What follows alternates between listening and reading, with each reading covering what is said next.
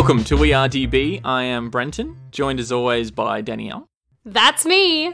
Thanks for joining us again this week as we count up the IMDb's best movies of all time and discuss some of the greatest films you mightn't ever have seen.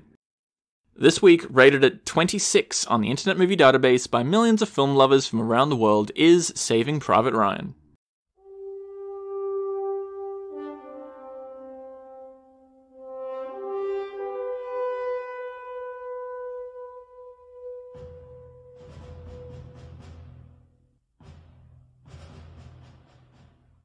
Released in 1998, starring Tom Hanks and Matt Damon, Saving Private Ryan is a war film set mostly throughout Nazi occupied France, opening at the assault on Omaha Beach during the invasion on Normandy toward the end of World War II.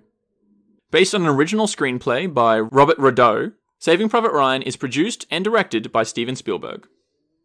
Now, I think this one's going to go a bit longer because I've got a lot to say. I love this movie. I've seen this a lot, up to 10 times.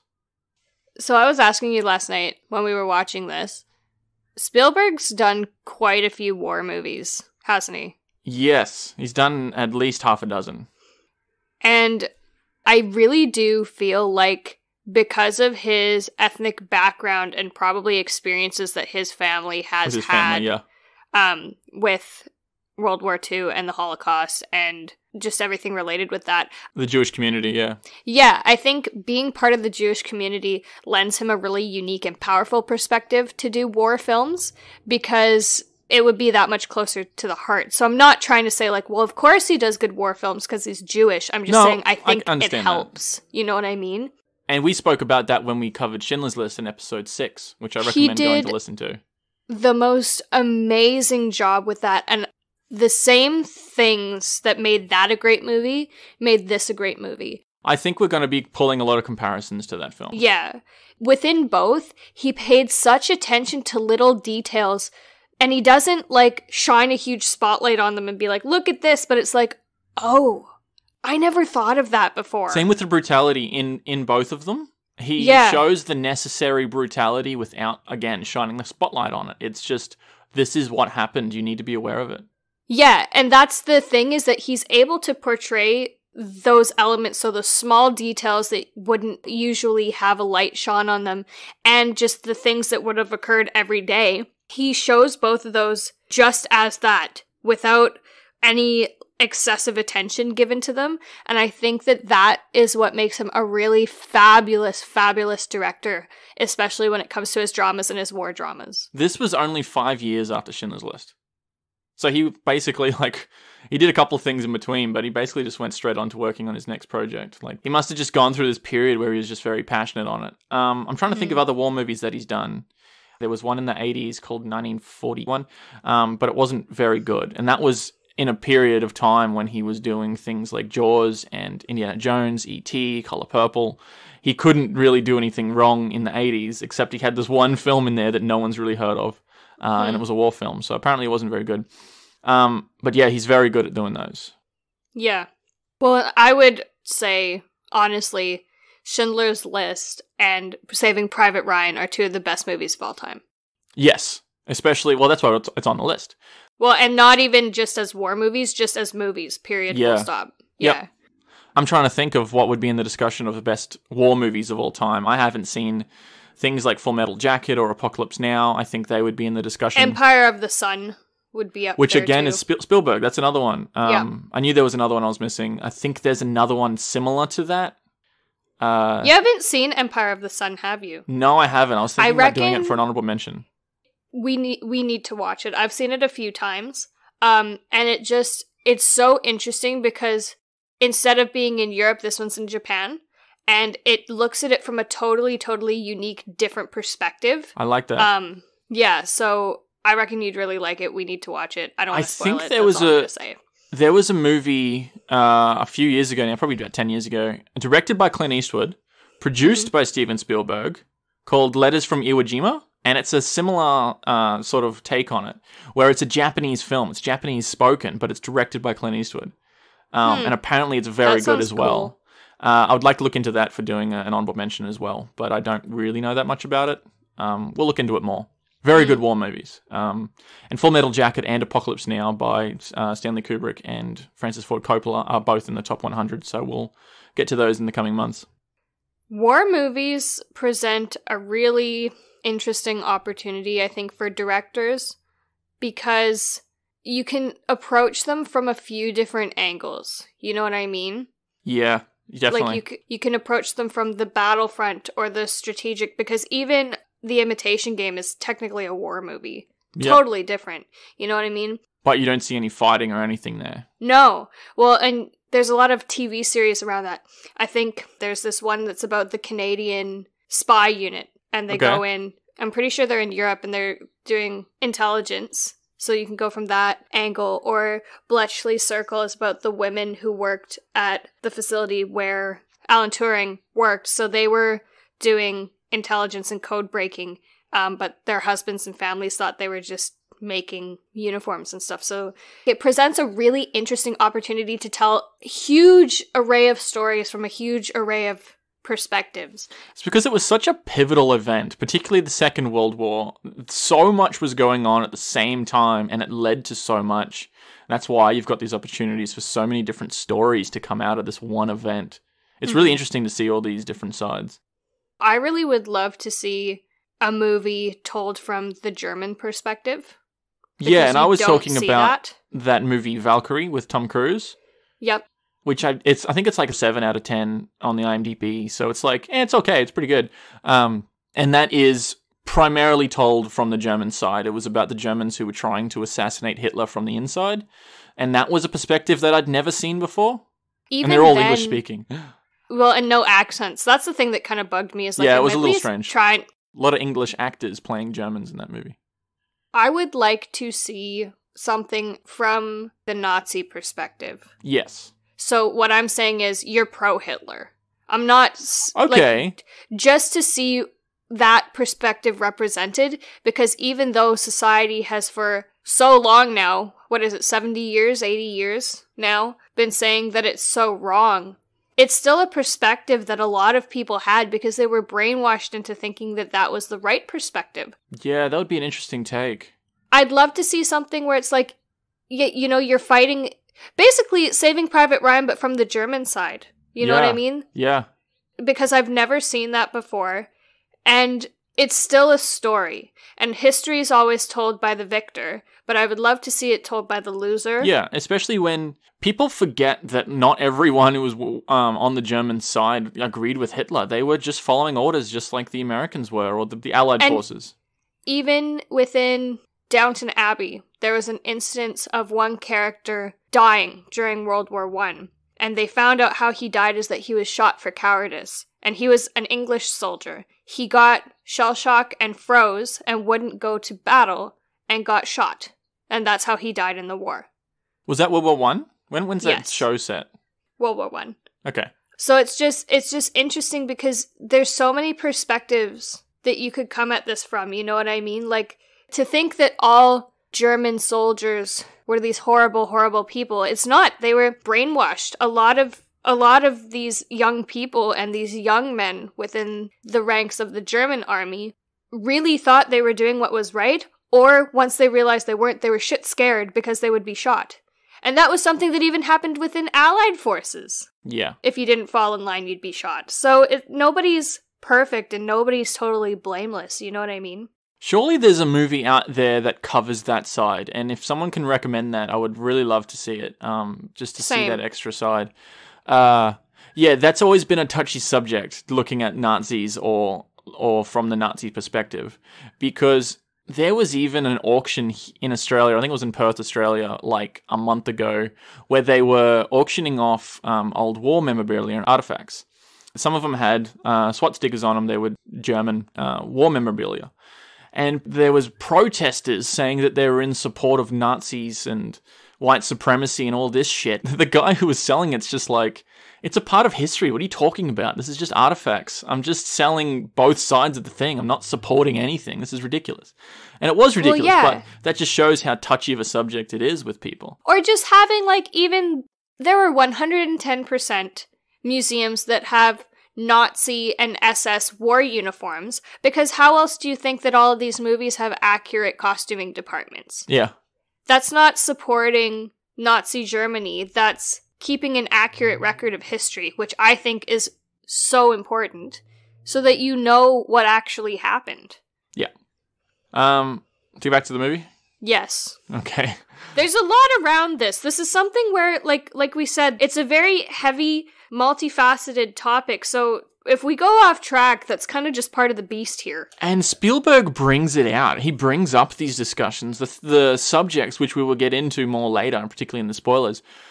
He makes you think about these things or shows you sides of the war that you hadn't really, like, oh, I hadn't thought of that or hadn't really seen that depicted in film before. And it's really quite brilliant, Yes. particularly around the Holocaust in Schindler's List. There was a lot of things in there that I learnt about the Holocaust from watching it. It plays almost like a, a documentary. Um, it's a biopic. It really so does. It's, it's Yeah. very accurate if you look into it. Um, Mm. I kind of appreciate that. This movie is very much your typical Oscar bait, quote unquote, where you've got so many big name actors. There's so many actors in this. You've got Tom Hanks and Matt Damon, obviously. You've got uh, even Bryan Cranston's got a small role. Ted Danson, Mm. Nathan Fillion, uh, Tom Sizemore, Edward Burns, uh, Vin Diesel. You've got Giovanni Ribisi. There's a lot of people in this. There's Mm. um, big Oscar winners. You've got someone like Steven Spielberg directing the subject matter. John Williams is doing the score. So some people are like, I don't think those movies that are clearly trying to get Oscars should get them just because they're trying so hard. And I don't think that it's trying so hard. I think it still deserved Best Picture that I was year. gonna say... it lost out to Shakespeare in Love, Ugh. Ugh. which I've seen Shakespeare in Love, and it's fine, but it's no Saving Private Ryan. I The fucking love this movie. I have with that is that okay, yeah, this is Oscar bait, but you wouldn't have created the powerful story that was necessary to tell this story. Like you wouldn't have had all of the essential elements to properly tell the story without having all those people and all of those elements. Like I'm very much someone who's like it is a disservice to make a shitty war movie. Yeah. Like like it's not okay to make a shitty war movie. You make a good war movie or you don't make it because it's eh, like any other way it's disrespectful. I find. I'd really like know to I mean. see your take on Quentin Tarantino's Inglourious Basterds because he does an approach that's different from any other war movie that I've seen, and uh, I won't go into that, but it, it's different, and um, his perspective on it. He also brings up things that you hadn't really seen in film before, or makes you Mm. question things like, "Oh, how did this? How did this work? I never really thought of that before." Mm. Um, And I like films that do that and make you think. Mm. To talk around the movie a little bit more and talking about, you know, war movies should be respectful and things. I've always been someone who is very anxious, um, and I get really uncomfortable quite quickly, especially with some of the things like some of the content in this movie. It's very graphic. Um, however, specifically with war movies, I make a point of making myself sit through this because I say to myself, whatever discomfort I'm going through watching this movie in the comfort of my own home is nothing compared to what those men actually went through or those people. You know yeah, I mean? when did so, we discuss that last? probably the last time we watched this. No, I feel like we've discussed it on the podcast. I'm trying to think. Maybe Um, Schindler's List. Maybe. The point being, I had a really, really hard time watching this a second time. Um, I just want to emphasize I think this is a fantastic movie. I think it is a hugely important movie. I think it's a movie everyone should see. All that said, I don't think I'm ever going to be able to watch this again. I said the same thing about Schindler's List when we did the episode on that. I think it's a fantastic film, but I wouldn't ever want to watch it again. I watched it twice purely because of the the podcast. Um, but I love Saving Private Ryan. There's some moments in here. There's real human moments Yeah, uh, where it's not all just brutal war parts, and the parts that are focused on the war battles and things, they're done in a very good way. There are moments in this that really make you think about what was it like to be in the shoes of those men? Not when fighting but just like how how did being there change them? So in particular you see a lot of strong masculine men in this movie break down and cry. And i think to myself that must have become something that was very normal to see and that you just you just let it happen and you don't make fun of people because mm. People are consistently losing people people are consistently you know making friends and forming these really strong intimate bonds with people that you would only get from, you know, fighting for your life beside somebody and then they lose that person. So I'm just thinking like it kind of challenged and happily challenged some of the views I think society presents about masculinity because I think a lot of these characters before the war would have seen any expressions of emotion, intense emotion like that as weakness, whereas being in the war, they found it to be necessity and not only is it something that like that everyone goes through it's something that you allow them to go through because you completely understand where they're coming from you yeah. know what i mean and that's something where i sat back and i was like huh because i i actually watched there's a there's quite a few times where you see men crying and not just like little tears like properly breaking down crying. Well that's completely and fair I, enough. Oh absolutely. I'm i do not think thinking, anyone's going to judge them for that. No is that what you're saying? Yeah, that's the point is that you all have this understanding of what it is you went through. And I just, I've seen other instances in other shows that were about or around the war where the women, like the wives or the girlfriends or whatever, once they come back home, they see this emotional side of these men that they've never seen before husbands, brothers, fathers, whatever, and they don't understand it. So I think it would have been so important to have groups of men who were friends or who went through the same thing to support each other because nobody else would really understand it. You know what I mean? Yeah. Yeah. I understand what you're saying. I was going to ask you, do you think that this is Steven Spielberg's last great film? Well, I don't know. I don't know when his stuff came out, so. So this was 98, um, mm. and since then he's done AI, artificial intelligence. It, it was kind of messy because it started as a Kubrick movie and ended as a Spielberg movie. That's weird. Um, yeah, it's a little weird. He did Minority Report, which I think is all right. Some people love that movie, but I'm like, eh.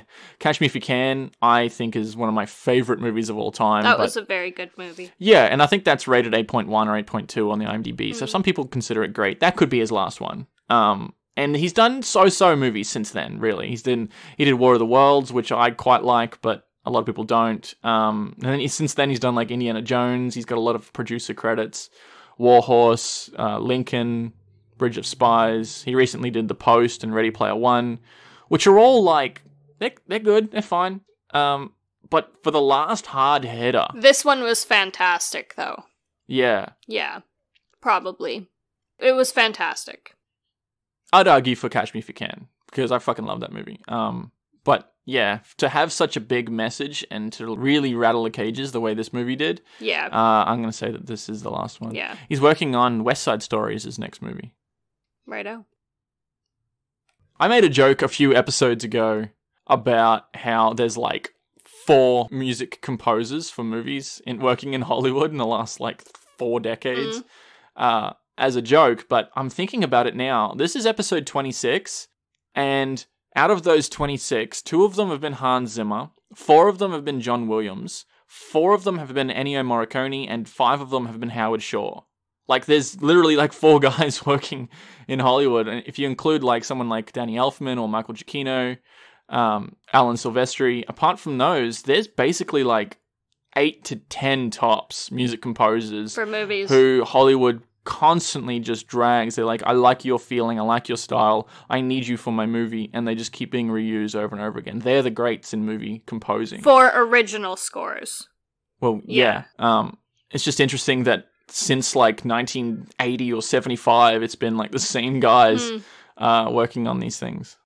Interesting, for sure. A lot of people wonder if this movie is a true story, and I don't think it is specifically, but the concept of trying to save someone because they've lost their brothers is is a real thing, and I yes. believe these missions happened in World War II. Um, I don't know if they were as dramatic and as long as this one yeah. is. Uh, the reason why it's set up this way in this movie is because so many things go wrong. They lose his troop and they don't know where he is. Um, so that leads to the drama, which could have absolutely happened mm. in the war. So it's not based on a true story, but the concept is. This definitely happened more than once to somebody in some capacity. The idea that um, yeah he's the last one in his family, so they need to go bring him home so that that family doesn't lose all their sons. That definitely happened. There's a guy in this that a lot of people think is Ben Affleck. You even said, "Isn't Ben Affleck in Saving Private Ryan?" And Who I said, no, that that's guy? Someone else. His name's Edward Burns, um, and he really hasn't been in anything else other than like romantic comedies and chick flicks since then. He's just been in shitty movies since then. Well, that sucks. Uh, but he really does look like Ben Affleck, doesn't he? He's a good actor, and he's really he's, he's good. good. Looking, he good in this, and yeah. that's unfortunate. Yeah, he does look a lot like Ben Affleck. Particularly when he's in this Matt Damon movie straight after Matt Damon and Ben Affleck won the Oscar for Good Will Hunting mm. the year before. Mm. Um, side note on that, skipping to the end, all the other actors, particularly of these troops, had to go through boot camp to get ready for the film. Mm-hmm. While Matt Damon got out of doing boot camp because he was traveling around promoting Good Will Hunting. So that added an extra layer of these actors hating this pretty boy for going around uh, on the red carpet and things while they were in boot camp, and it made them really hate Ryan's character even more by the end of it. Mm. And I mm. think that was a really nice touch. It added to it. So, and I mean, I think Spielberg probably saw that and he was like, "No, no, you go, you go promote your movie." Like he, yeah, like he much. was like, "No, that's okay." Yeah. You know what I mean? Like it, he was playing into it directors have been known to do those sort of things to invoke real emotions in their actors, mm. and I think as long as you're not crossing any boundaries, which people have done in the past, uh, it can lead to some really awesome scenes. Yeah, I'm ready to kind of dive into it a bit more if you are. I think it. We'll get into spoilers now. Yeah, yeah. I wanted to talk about that opening scene. Like, obviously, the opening scenes usually aren't spoiler heavy, but I just wanted to talk about the accuracy and the, the detail of that scene. I think the storming of Omaha Beach um, in American war history is such a pivotal moment, and they lost so many people. And this scene shows probably one of the best depictions of it in cinema ever. It shows so many elements of it. You've got the guy who's walking around holding his limb. There's a guy holding his intestines in. There's flamethrowers. There's just the, the the water is all red. I think that's a nice touch. Even the thing that got me because the first time I ever saw this scene was actually in a like making of the movie behind the scenes documentary thing. Oh, that's documentary on yeah, Spielberg? and so I didn't realize what it was, and I was just like, "What the fuck?" Like, I didn't realize it was Spielberg. I didn't realize it was Saving Private Ryan. I just remember thinking that is the most immersive war scene I have ever seen in my life because right from the very beginning, one of the first things you see is a guy, they're in these amphibious vehicles, and he leans his head over the side and pukes his guts out. And I mean, of course you would be. You're rocking all over in the water, you're nervous as all shit. Like, you don't know what's gonna happen. Of course you would see that. And then when a lot of them got off that boat, they drowned because of the amount of equipment they were on them, let alone getting shot or anything pretty fucked up situation. The thing for me that was the most, like, one of the best details of that entire scene was when the camera would go under the water and you would stop hearing all the sound. Yeah. So that for yeah. me, I was like, whoa. Like, that was such a fantastic, fantastic directorial choice because it's like, I feel what these guys feel. So immersed, because, yeah. And you gotta remember, I have anxiety. Like, I have hardcore anxiety. So sitting there with all this noise and this change of like noise and guns and then nothing and noise and guns and then nothing. It's hugely jarring for me. And so that adds again to my perception and sensation of this scene because it's just like, holy crap, like this is so chaotic and scary. And the cameras, it's very immersive shots. So it's a lot of like jiggling around and there's some like running with the camera and then there's some there's a lot of action scenes throughout this whole movie that they they intentionally use that shaky cam where you've clearly got a cameraman running along with the actors and I love that because it makes you feel immersive it makes you feel like one of the group it's done very strategically and I think it's so important so so so important that's what makes Spielberg yeah. fucking terrific is things like I think that. it's so important in war movies in particular because to me, the whole purpose of a battlefield scene is to make you attempt to understand what these people went through. And this is mm. probably, you know what? This is by far the best example that I've ever seen. The only movie that I think, and I know people hate it, that comes close to depicting what the trenches were like is Passchendaele. Which I I don't know what that is. It's a Canadian film. Kind of okay. similar. I th- I'm pretty sure he actually showed this to World War II vets who stormed Omaha Mm-hmm. Beach, which is horrifying if you think about it. Um, but they were like, "Yeah, that's it. You could not be any more accurate. That is absolutely what it was like. you may as well have the camera on the beach right then because that's exactly what we went through. Um, and I think that is very powerful. That's a great like seal of approval, basically. Um, one of the first depictions I ever saw of any war really was video games. I actually learned a lot about the war through video games, what, what they did and the weapons they used and how they went about it. There was a video game series in the early 2000s called Medal of Honor. It was sort of like Call of Duty um, and ran alongside it. yeah. Uh, and there was an installment of that called Medal of Honor Frontline. And the very first level of that is basically the very first opening scene of Saving Private Ryan. It goes through it and it's so detailed. You have to like go between these big anchor points as well and do very similar things that's in this. And I, it was years later that I realized that Steven Spielberg created the Medal of Honor video game series and he was the producer on that. So I thought that was really interesting. He basically uh, helped create that opening scene in the video game as well to try and enhance what he did in Saving Private Ryan. and that was my first instance of a lot of war elements. Like your first introduction. Seeing these scenes, yeah. Yeah. Hmm. He's got his fingers in a lot of things. I think he he Yeah. also started DreamWorks Pictures, Yeah. which is why this is a DreamWorks movie, and Amblin Productions. Yeah, he's he's a billionaire because of it, because of all the business deals he's in.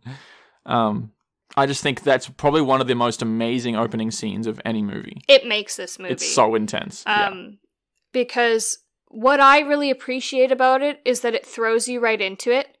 It doesn't ease you in. Because what do you think, especially some of these really young boys who faked their age to get drafted, they weren't eased into the war. They went through Yeah. basic and then they were good point, thrown into this. You know what I mean? Yeah. It makes you feel like one of these guys who it's just like, bam, now you're in it. Yeah. Deal with it. Yeah. That's an interesting point. I hadn't really thought of that before. the like like I Hmm. say, I take war movies really, really, really, really seriously, and he's done an amazing job. I can't express how how important it is to me that war movies are done so like so properly.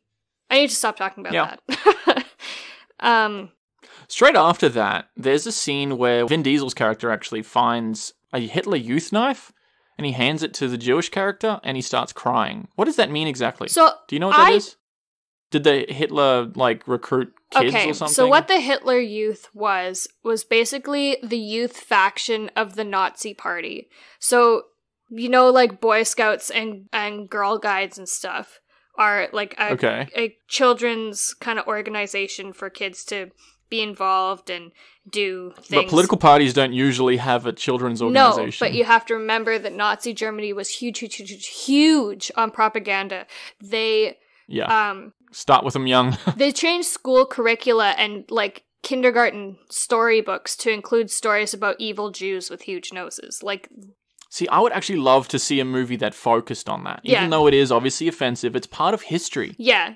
And I would love to see more of that because I haven't seen I don't know much about that. So what the Hitler Youth was is that there were various levels of these children's organizations that you would graduate through. So you'd start in Boy Scouts and then I think it was the Young Men's League and then at age 14 you'd become a member of the Hitler Youth and there was I think the Young Maidens League for girls. And what it was was just a social club for kids, but it was run by the Nazi party. So just to propagandize them and prep them to become, for boys, it was part of the military. So I'd imagine it was a mixture of like Boy Scouts and cadets kind of thing. Um, and for women, it would have been a lot like Girl Guides. So for the girls, they were prepped f- to be domestic housewives. Um, so that Hitler youth knife, I'm trying to interpret the scene Why would that affect him because more than anything? it's a symbol of the fact that these children are being taught to hate Jews. Okay. You know what I mean? Yeah, mean? I can see that. Like that's my interpretation of that scene. Like why would it affect him so so badly? Does that mean that the guy who Vin Diesel pulls that knife off is underage, or he, he's still holding onto the knife when he was part of this? Because they wouldn't have sent underage kids to war, would they, on the Nazi no, side? No, but they they would have sent them directly from Hitler Youth Once they turn age 18, 18 into yeah, okay. the army. So they would have just yeah. still had the knife on him. yeah. Okay. And what's really interesting that I didn't even realize is that that knife is what kills that character. Oh. It Isn't so that is. crazy? I've seen this so Yeah. many times. I never picked because up on he pulls it out and then it gets turned on him. Fuck, Steven Spielberg is terrific at those sort of Yes. subtle symbols, isn't he? Yes. Which is that was a fucking intense death scene. Oh my god. well, It's so personable because shooting someone from a distance is not personable. That's another thing that I think this movie does so fantastically because you think of war and you learn about the war at school and you just think about people standing on way opposite sides of a field shooting at each other and then you see them fall down. Yeah. And that's when I was younger, that's how I interpreted war. You don't think about people wrestling on the ground, slicing each other's throats open. I think that was more for World War One, maybe when they were shooting across the trenches. There was a no man's land, but World War Two was like they were deep in All each other's pockets. off. Yeah, yeah. And I could just be naive in, in saying that, but that's how I envisioned it more. But when I realized that that's what happened to that character, I forget what his name was, the Jewish character. I was just like, "Holy Yeah, I fuck!" I quite like that actor as well. Yeah, He used to but be that's in such a a, slap in the face. Yeah, definitely. you know what I mean? Like, wow. But just little details like that. Go Spielberg. There's so many little interesting character development traits in here to make you really Mm. feel for the character. And Spielberg didn't have to do that. They didn't have to add these things in there. And I really love that he did. Um, and that's an example of that. But you were talking about the Giovanni Ribisi character. He's the medic for the group. And he was talking when he was in the church about his how his mum used to be an intern at the hospital. So she she was Yeah. probably a nurse or a doctor. And that's probably why he was a medic. And I think that's such an interesting trait to read into that character as to Yeah. why, what are his motivations? You know what I mean? That interest is there because of his family and what their background is. Yeah. Um, and that's such a nice character thing to add in there. It's awesome. Yeah. And again, that whole scene where he's talking about, I don't know why I wouldn't wake up and talk to my mom. Because his thing was he'd wait for his mom to come home from the hospital, and no matter how hard he tried to stay awake, he'd fall asleep. And then he said, then on the night she was home early, I'd pretend I was sleeping. And he said, I don't know why I ever did that. And I hate those those guilt moments because he dies not long after that. You know? Yeah. Yeah. I love those little human moments, those those quiet times of character dialogue. In that scene, you also Yes. see the start of Hanks shaking his hand. That was present right from the beginning, from Oh, the very opening scene. Oh, it is Yeah. too. Yeah, it is too. Um, Yeah. That's where he explains, he highlights it basically and, and says Yes. that his hand is shaking and he can't really stop it. And you were saying that that's probably a trait of withdrawal from alcohol. So that shines a light into his character more. Yeah, he said it started however long ago. Probably what it started as, you know, is that he was just so shaken, literally at the core, um, by what he's been seeing. He's drinking to help him get through it, Hmm. but you'd reach a point where you'd have to keep drinking to function. And that's what alcoholism is. Shakes are very common for alcoholics to go through if they haven't had their drink for the day. Yeah, and that's something I hadn't really picked up on until you Yeah. explained that. It's just it was interesting to me too because there's another scene near the end where the young kid the young corporal who they pick up because he speaks german and french Upham.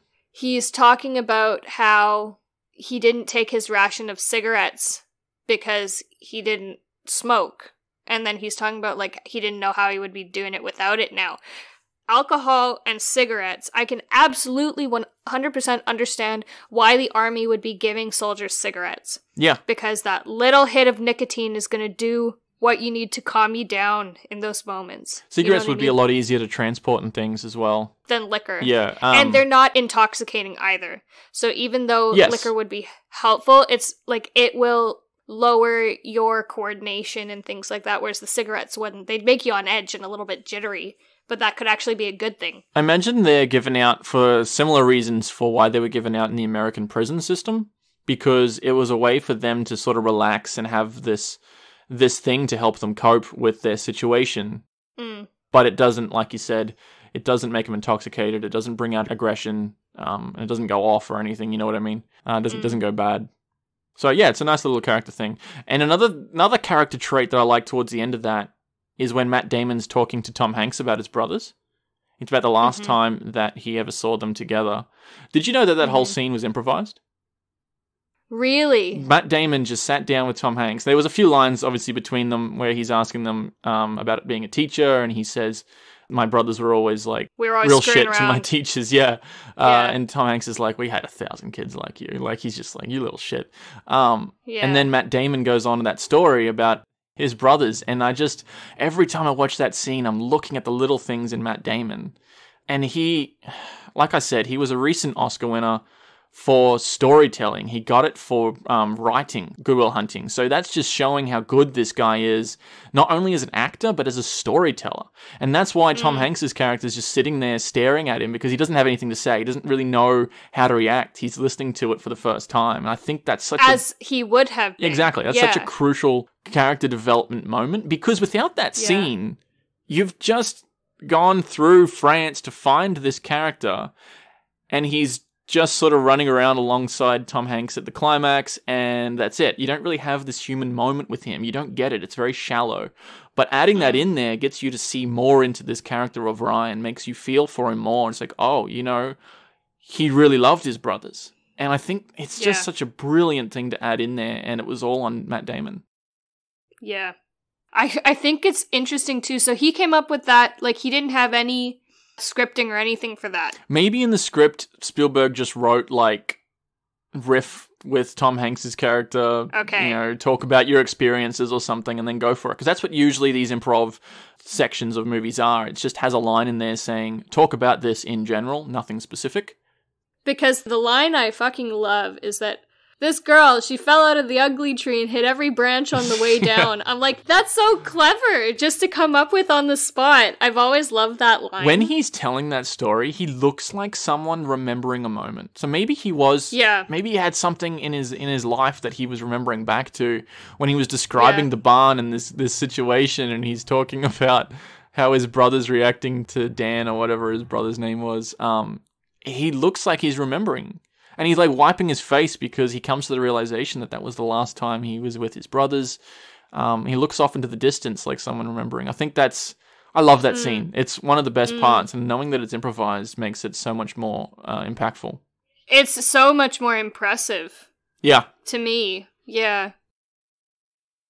Why do you think Tom Hanks's character didn't want to say that he was a teacher? Because the only time he actually does end up saying that he's a teacher and explaining to people is when he thinks that he's going to die. He eventually gives out and says, What if we don't live that long? I'm going to tell you now, sort of thing.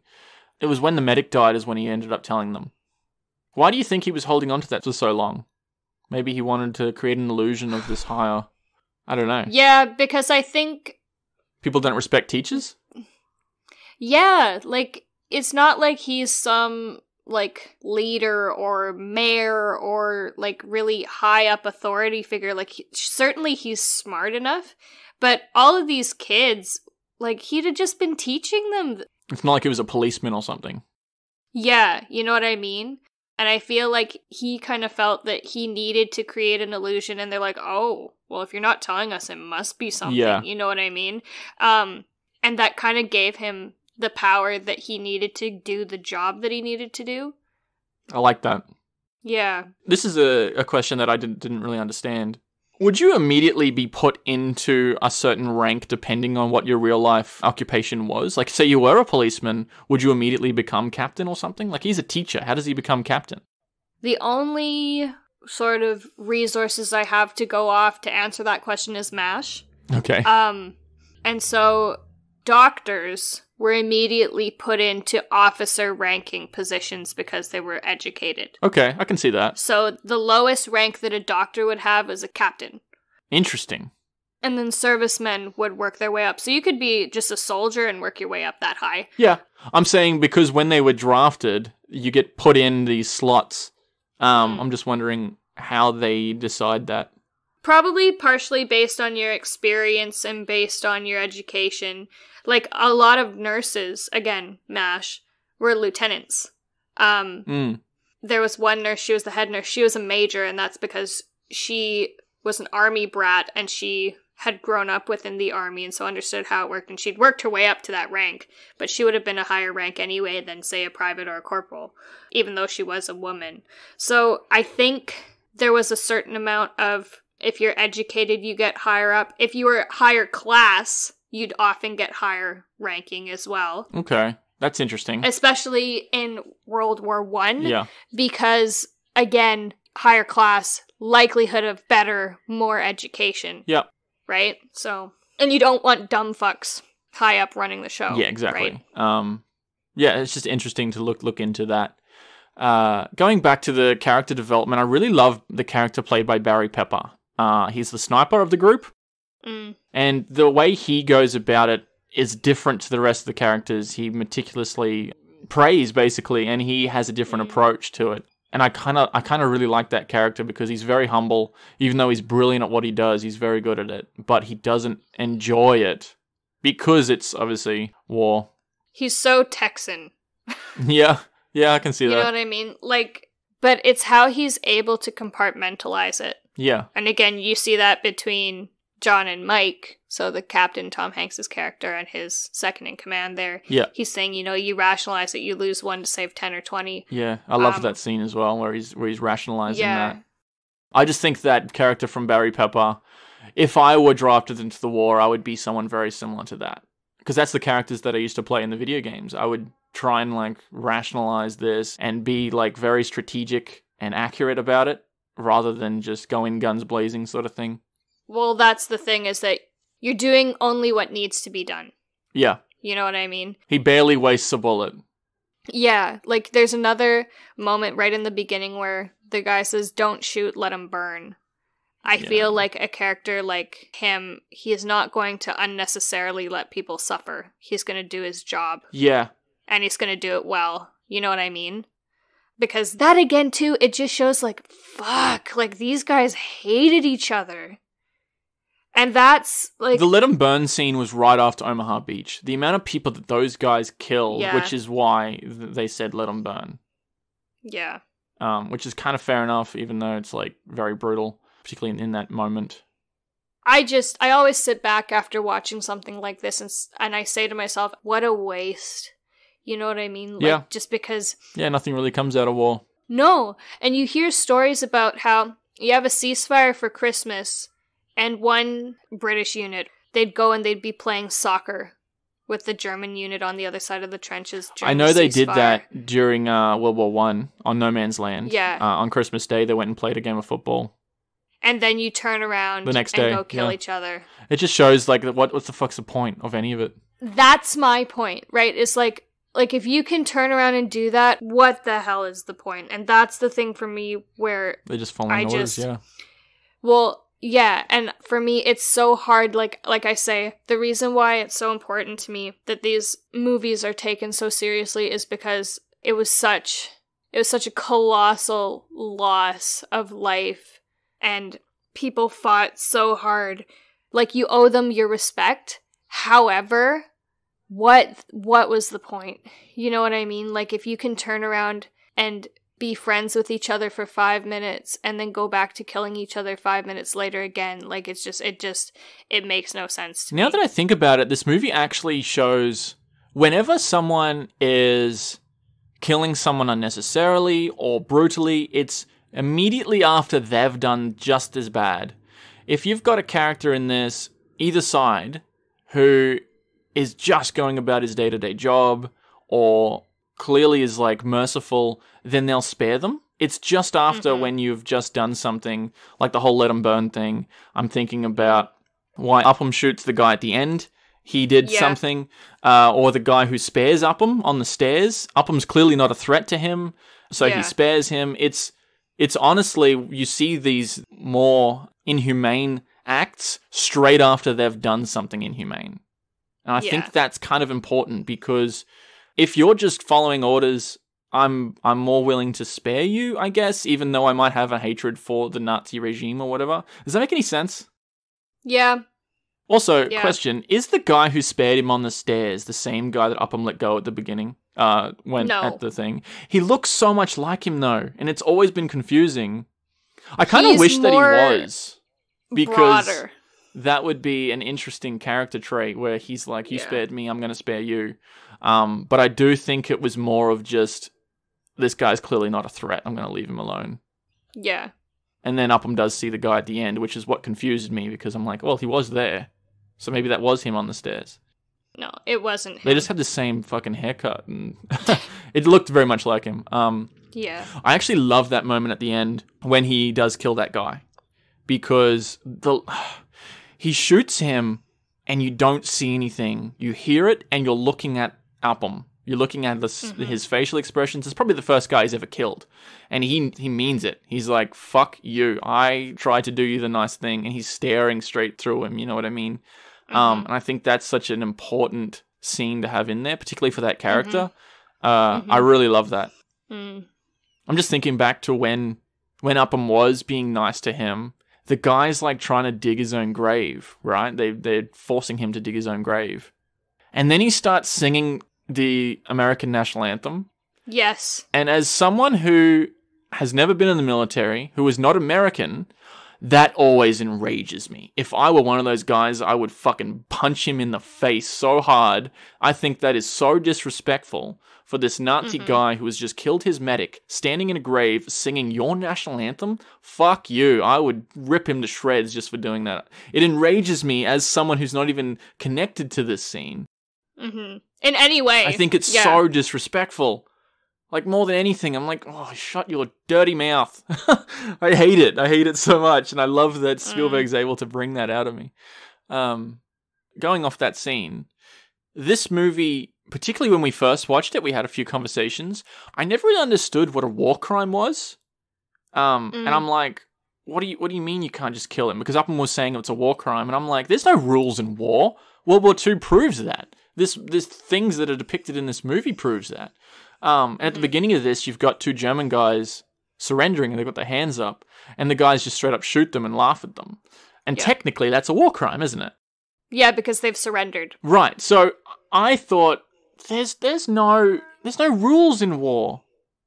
There are lots of rules. I, I had no idea. I had no Yeah. idea. And this movie was the first time I ever asked that question. I'm like, what are you talking about? The Germans did whatever the fuck they wanted behind the lines or in front of it. You know what I mean? Like they did Mm. whatever. And obviously, that was a subject of a lot of things. The trials at Nuremberg, obviously, um, a lot of the high ranking German officials got justice for their war crimes. But I don't know. There's there's a lot of questions around those sort of things as even today as to what what's considered a war crime because there's some things that happen even today from either side Oh, that could definitely be classed as war crimes. And I'm like, what are you talking? There's rules in war. No one abides by them. Do you want to talk about that? Uh, a little bit. Let's just touch it. Okay. Just a just a little caress. You had to go there. A war crime is an act that constitutes a serious violation of the laws of war that gives rise to individual criminal responsibility. See, I was under the impression that this is World War II, man. I'm on the front line. Anything goes. Keep yourself alive and your men, and by any means, you know what I mean. I I had no idea that there was there was specific rules in war. That's so that's such a strange concept if you think about it, particularly after you've seen these things. It's like you can't torture your prisoners like you have to. Yeah, because that never happens. Yeah, but you're not supposed to. Yeah. You See, know that's my what I mean? point. People do these things even today, even though you're not supposed to. So they're kind of like rough guidelines that no one actually follows. I don't know. That's what it seems like to me. Uh, I uh, quick question, and this could be very controversial. Um, the movie Zero Dark Thirty accurately depicts when the Navy SEALs went and killed Bin Laden. mhm. they show torture. They put their military units in someone's house in Pakistan. Like, they crashed their helicopter into his yard, went in and killed this old guy and his family in his sleep. How is that not a war crime? Why was that celebrated so much? I understand it's bin Laden and he was the one behind 9 11, all that shit, but it's like, how is that not a war crime? You're just as bad as him. I don't know. And also, I don't know. Were they at war? They weren't at war with Pakistan or Al Qaeda. I mean, they'd, I they'd been through a lot of shit with Al Qaeda. I'm just going to read off the list of war crimes perpetrated by Germany. Okay, here we go. Okay. All right. So, participation in a common plan of conspiracy for the accomplishment of crimes against peace, planning, initiating, and waging war of aggression and other crimes against peace. So this is against the country of Germany. Yeah, these were perpetrated by Germany. Um, My question is just that they're not on a human level. It's a it's a state level. yeah, I'm confused. Okay. Atrocities against enemy combatants or conventional crimes committed by military units. So, see, that's so weird because then where does murder start? Exactly. I don't know. Yeah.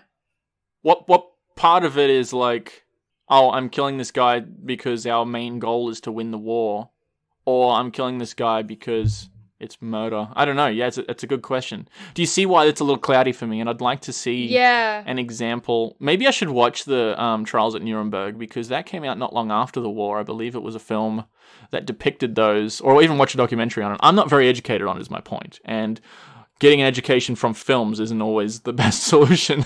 There's war crimes, and then they were charged also with crimes against humanity. The major one being the Holocaust. Obviously, was a crime against humanity, and then some of the other things that they did surrounding the Holocaust, including like death marches, widespread slave labor. how do you ever have justice for that? Because the worst thing you can do to someone is Death. death, right? But that's not really justice for the fucking Holocaust. I know we've gone on a tangent here, but it's an interesting discussion. I don't know. Yeah. There's certain things, okay, we're really going on a tangent here. There's certain things where it's like, don't kill the person, lock them up for the rest of their God given lives with very little for them. Like, How does get- that make you any better than them? And it's costing They you resources. yeah, I don't know. It's a, it's I a, don't it's a Yeah. very cloudy subject. I can see why Yeah. there's some questions around it. Going back to the movie, I want to talk a bit more about what it would be like to be in war. Um, there's things where it's like you'd be so uncomfortable all the time. yeah, I was talking about um how you'd never have toilet paper to take a shit. Well, you'd never have toilet paper. Like, you'd always smell bad. You wouldn't be able to brush your teeth. If you're in the trenches, your feet would always be wet, and Yeah. that's why your feet always start to freaking rot right off. Um, you're always dirty. You never have anything nice to sleep on. I can't imagine always being on the edge of dying. Yeah. Like, if you let your guard down, you die. I can't imagine that. yeah. I can't frickin' play paintball for my anxiety. You know what I mean? Like, I couldn't imagine this. I was going to ask, do you think that it was safer to stay in a church? Because they're in this fucked up village in France and they sleep in a church for the night. Were the Nazis any more compassionate when it came to like preserving medieval churches and stuff, or they didn't give a shit? Was it safer to stay in a church? Think so. I think well that was a an ally held area and that might have just honestly been one of the more intact buildings just by no, I understand that, but I'm, I'm I was just made me ask the question. Like you're not supposed to bomb hospitals or you're not supposed Something to bomb like that, yeah. kind of thing. Maybe maybe I also just remember like like this this gave a lot of context to to what the terrain was made to look like because a lot of other war movies I'd seen you just see those skeletons of towns. Mm, Like you see a building and it's like you can see all three floors in the building cuz one wall is all that's left standing kind Yeah. of thing, you know what I mean? And you can see that each apartment was painted a different color and stuff. And I just appreciated that that they moved around a fair bit so you got to see like bases and drops and they're waiting for the medical unit in the middle of a field somewhere and then you know what I mean like they move around a yeah, lot you get to see the different contexts. Yeah, okay. because in a lot of other scenes in TV shows or movies, you generally see each of these Like Settings. one set, yeah. in isolation from each other, you know, because you'll do a hard cut to somewhere Yeah. else. And it's like this one was a lot more organic in the flow of how things moved and how units moved that I haven't seen portrayed before. Like like I said, I really want to understand what it was like because for me then I can have more compassion and more empathy because I understand it. Mm. You know what I mean? And so I appreciate that he put in the effort to make sure that it was conveyed really well. I wonder how difficult it was for set design because they had to build that set of all the rubble towards the end of this film. You basically would have had to have built a miniature French village and then literally drop bombs on it to make it look this good. It looks so realistic and organic. It feels like an old French village that's been bombed, and they made it completely for the movie. Well- I just think it's very impressive. You wonder too, because like just to take a wrecking ball to it, Wouldn't rubble do this. wouldn't fall Yeah. the same way. That's my point. You know what yeah. I mean? Yeah. They they could have done explosives. There's probably behind the scenes or something that I haven't seen, so maybe I'll look into Mm. it. I always feel for the moment when they're driving to go tell the mother, Mother Ryan. Mm-hmm. I think that's a brilliant scene because there's no there's no dialogue. You can tell exactly what's happening and what she's feeling without really needing it. And that makes me want to root for this group. I want to get Ryan out of there as well when you see that. It's a very it's a very heartfelt moment. It's an important one. And you feel that even more than he does because initially he's like, "Well, I don't want to go."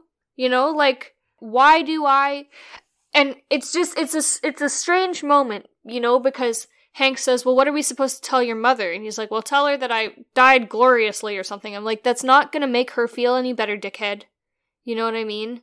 Like it's so strange too because I've never understood what the appeal was because you had teenagers lining up left, right, and center to get their fake IDs so that they could go to war.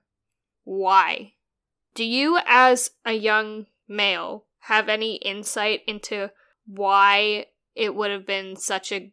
Like, why would you want to go? I know for the First World War, it was definitely these sort of people, even ones from small country towns, they never really got the opportunity to do anything with their lives or see the world. And this was an opportunity for you to go to all these countries, these exotic places. They went and trained in Egypt and um, they went to Turkey and Italy and France. Um, so there was an opportunity there to see the world and create this kinship. And you learn all these valuable skills and discipline these lifelong skills these lifelong relationships. It was it was a once in a lifetime opportunity and i can definitely see the appeal. And by the time world war ii came along the people who were being drafted they were the sons of the people who went before. They could see how heroic it was. It was a status that was put on a podium that said if you're not up there you're left at home with the housewives and the mothers and you were kind of less of a man, I guess. So it was such a high level of honor to go represent your country. And we watched Captain America recently, and you can see that character. He also feels that way. He's exaggerated, obviously, because he's Captain America. Um, but it's based on something. I just. You don't see I've the appeal. always. Well, no, it's just. I see that, but I'm like, but as soon as you get there, like. Did you not have any idea what you were getting into? World War Did II you definitely forget? not. It was a fucked up place that no one could could have really seen. Like, did you not realize that you were going to kill people who were also trying to kill you? Like, did you not realize that there's a high likelihood and probability that you're going to die in a really slow and painful way? Yeah, but it was a me or them kind of situation. If I don't go, they could be on home soil. You know what I mean? Um, and the Yeah. people who were going around the country signing people up, they were pitching this propaganda without showing those sort of graphic things. They were showing Yeah. off the benefits of it all, um, and making people want to go and showing them the values of it all. So maybe they didn't realize. You probably wouldn't have seen scenes from the battlefront back on home soil. Mm. I just want to say I realize the privilege I have in being able to say these questions. I've always had this, like, and I don't understand where it comes from either, but this huge respect for people in the military. That said, I would never want to be in your shoes. You also You see know? this in that Mel Gibson movie Hacksaw Ridge. Have you seen that? No.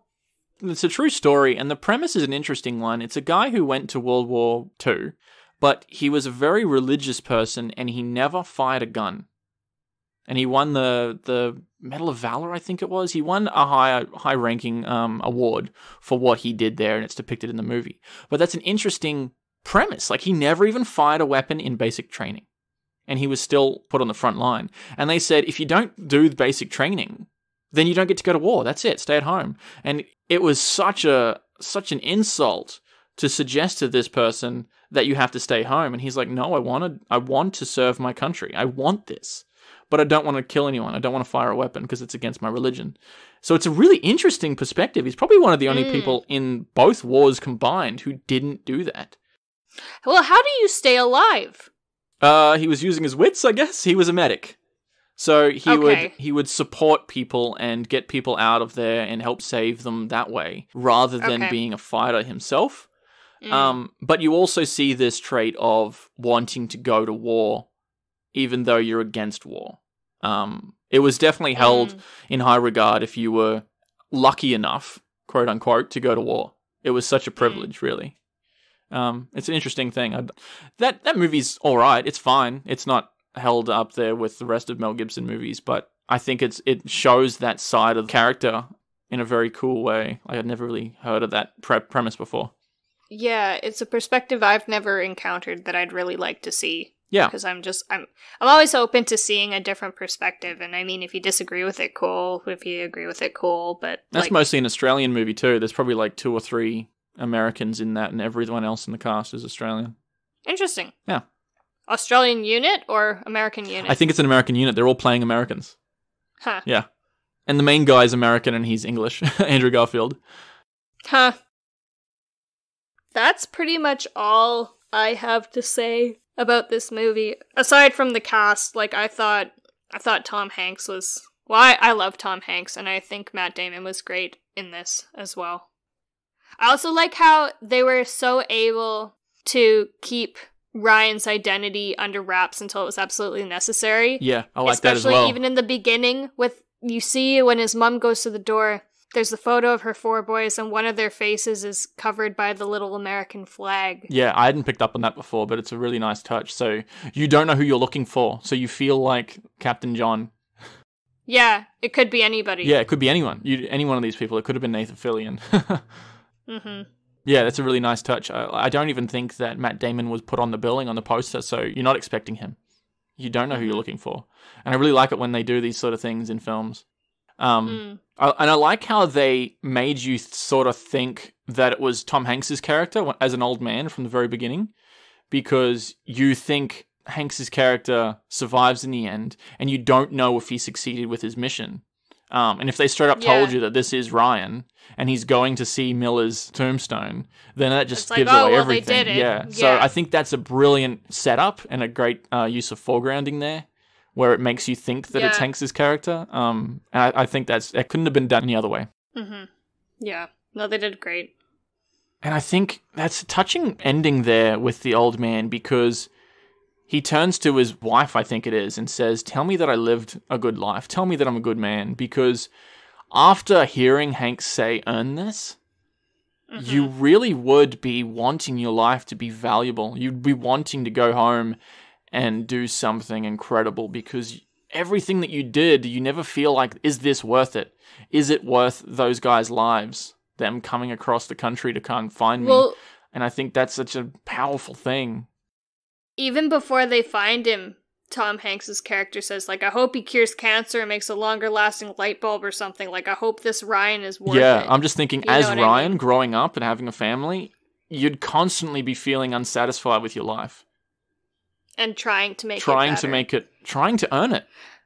And I like that moment with his wife where at first she's like, What? And then she sees in his eyes, he's like, No, like, I'm serious. Tell me that what I've done is enough. Mm. And she has that moment with him where there's enough understanding where it's like, You've done well. You know what I mean? Like, there's. That's that's one interaction. You don't see her character any other time, and that one interaction has a lot communicated through it. And I like that his family is there, so you know he had a bunch of kids. You know he Yeah. he had a big family, so it's showing that yeah, he probably he probably did worth it, but he but he doesn't feel like he did. Uh, it's an interesting Yeah. character. It's really brilliantly done. I always group films like Saving Private Ryan with things like The Shawshank Redemption and Forrest Gump and Green Mile because there were these epic dramas, a lot of which had Tom Hanks in them from the 90s. And I love these films. I've seen a bunch of these so many times. Um, Mm. I'd love to see more of those. I don't know that I could put in that in that category. Um, if someone could like recommend movies that you would put into the same category as those, I don't know. There was a there was a particular feel about these movies, and maybe it was because of the time when I was watching them. It was a I watched them all around the same time. Do they have a feel, or am I just looking for things here? No, they do. They were all 90s epics. Mm, these dramas. the directors you had working at that time, like the 90s had a lot of really good movies. they really did. You yeah. know, it was the beginning of contemporary movies, and we're starting to have some cool stuff happen again now. But yeah, I think mid to late 90s was actually like a really good time in cinema. Which is interesting because you think of it as being so recent, even though it's not anymore. It's like 30 years ago, um, or 25. But I'm I agree with you. There was a certain feel to those movies. I think some of it had to do with They really hold up. some of it had to do with the way it was filmed. All of those tended to have really iconic scores, and the directors who were working on them at the time, like we say, that was Spielberg's wheelhouse, basically. Mm. That was his peak and like his time kind of thing. And s- same with a lot of those other directors. Like Frank Darabont, who did Shawshank and Green Mile. Yes. It's interesting because in two weeks we'll be covering The Green Mile, which came out in 1999, which is arguably the single best year in cinema. It really was. If we actually sat down and looked at the the films that came out in 1999, the top 20 would you would have heard of and would love, and they're all great. And then the the week after that, we'll be covering Leon the Professional, which was 1994 which had so many great movies come out as well. Those were two very impactful years, and it's interesting that we're having this conversation now when in two weeks we'll be covering movies from the 90s that really changed a lot of things and inspired a lot of things. Um, and I love having these conversations. there were a lot from that time period that kind of just looked at things that were happening in everyday life. Yeah, You know what I mean? Like like there Pulp was Fiction. stuff where you look at well mm, but you know what i mean like or they'd have elements of everyday life in it like you'd just you'd feel like yeah i'm watching a movie but i'm like i relate to that as opposed to the mcu or whatever where it's aliens and freaking Yeah. gods and magic and stuff you know what i mean no hate on the mcu but like you could have something action packed like saving private ryan and still have it be really really relatable Mm. you know, we're in a different time now. There's a lot of focus on quip humor. Yeah, yeah, it is. Yeah, it, it is. A, You it know? definitely is a different time in cinema when you're feeling these things. Like the last movie that got Best Picture was Green Book, and I don't think that's on the caliber of these. Even the last few Spielberg movies don't feel like they have those elements of humanity and realism and elements that you can relate to. You know what's interesting? You said they don't have the element of realism, and we're in the age of CGI and like Yeah, face capture technology. So that's a big part of it is that how could it feel real when everything's being computer animated? exactly. Talking about Ready Player One, which is Spielberg's last one, that was mostly CGI. Well, and even like this, we're in this period of Disney live action reboots. You know what I mean? And a lot of them are being Yeah. computer reanimated. So it's just, it's strange. I mean, a lot of these things were starting around the 90s. There was a lot of remakes and reboots in the 90s, but not nearly to this caliber. They weren't the primary focus Yeah. of film, which they are now. That's because sort of. Disney's got a mo- monopoly on cinema. So we'll see what happens. I think there's some good stuff coming out. It's been a long one, but I think it's good. I like having these conversations. We have been Danielle and Brenton this week. Thanks for joining us. Feel free to subscribe wherever you get your podcasts, check us out on all the socials, and comment on SoundCloud. And until next week, thanks for listening.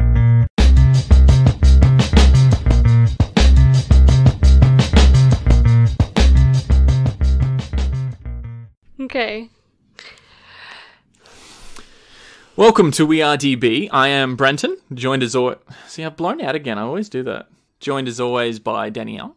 That's me. You want to do that again? Oh, that's me. Yeah, I could feel it. I was like, Ugh. I think there's a plane. I can see it background noise. There is. I can hear it and I can see it too. I'll wait till Uh, it's gone. I don't know if it's gonna go.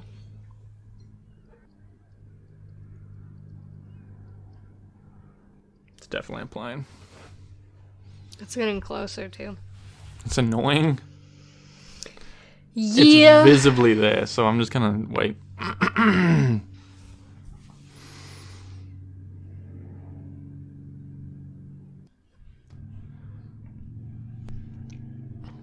what is that? Is that a fucking motorbike? Yes. Is he staying in one spot? He's on a treadmill. I think we're good enough. It's a Sunday morning, man. Go to church. Yeah, fuck. Go to church.